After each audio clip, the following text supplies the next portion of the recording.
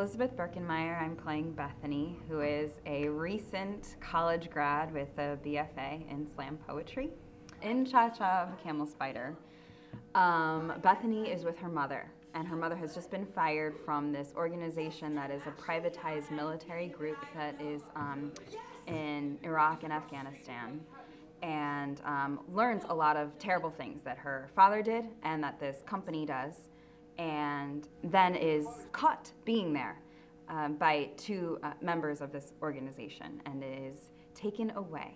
Uh, I'm Todd Allen Durkin. I play Stack, whose real name is Robert Stakowski. Mm-hmm. And what's your name? My name is Eric Mendenhall, and I play Denny. Uh, Stack is the, the senior to him. We both work for this uh, private military, like a Blackwater type agency.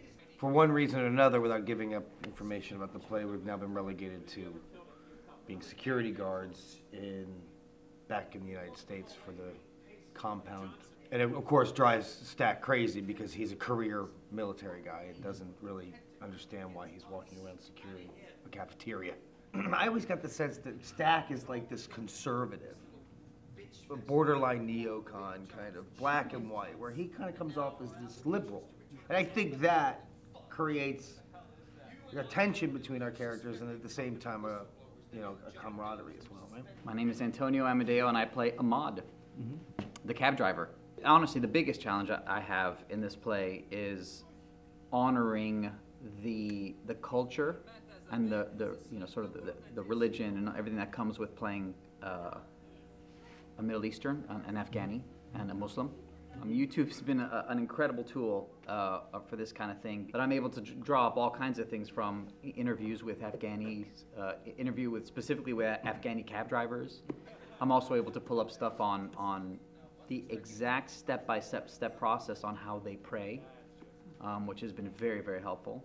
Not only to show me what I have to do, but to show how they how important it is to them and what it means to that culture?